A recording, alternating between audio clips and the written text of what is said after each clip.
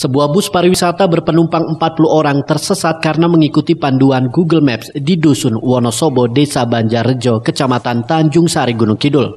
Tak hanya tersasar, bus berukuran besar tersebut juga terprosok ke dalam sawah sedalam 2,5 meter dan menyebabkan jalur tersebut ditutup selama beberapa jam untuk proses evakuasi. Kejadian bermula ketika bus pariwisata bernomor polisi B7428BGA yang dikendarai oleh Didik Santoso membawa rombongan dari Surabaya untuk wisata ke kawasan Pantai Indrayanti.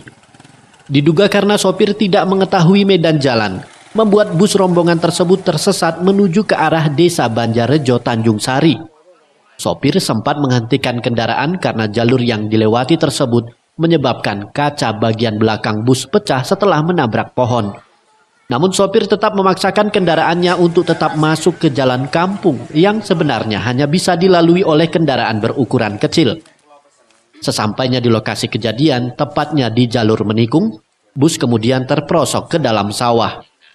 Beruntung saat kejadian sopir segera menurunkan penumpang hingga akhirnya bus tidak terguling ke area persawahan. Proses evakuasi bus sendiri memakan waktu lebih dari 10 jam dengan mengerahkan 7 mobil jeep.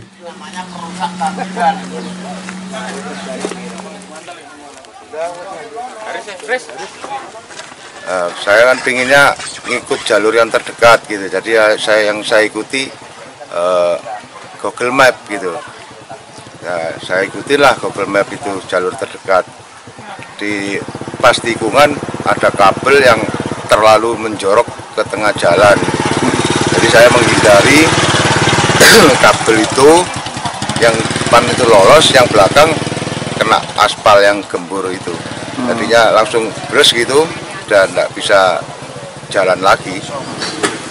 Anjar Ardityo, Jogja TV.